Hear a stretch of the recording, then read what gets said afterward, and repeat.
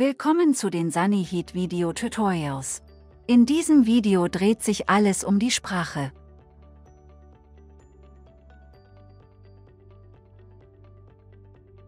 Wo finde ich die Spracheinstellungen? Die Spracheinstellungen sind im Menü unter Allgemeines Sprache zu finden. Mit den Pfeiltasten kann man ein Menü nach unten oder nach oben gehen. Die gewünschte Sprache kann mit einem Tippen auf den Spracheintrag ausgewählt werden. Die Sprache ist nun aktiv. Die aktive Sprache wird durch einen Haken markiert. Durch mehrmaliges Drücken der Zurücktaste kommt man wieder zur Hauptanzeige. In diesem Video wurde die Sprache von Deutsch in Englisch geändert.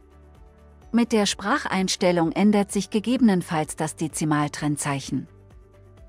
Wir sind nun am Ende dieses Tutorials angekommen.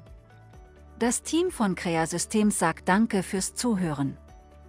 Mehr Informationen über Sunnyheat gibt's auf sunnyheat.de.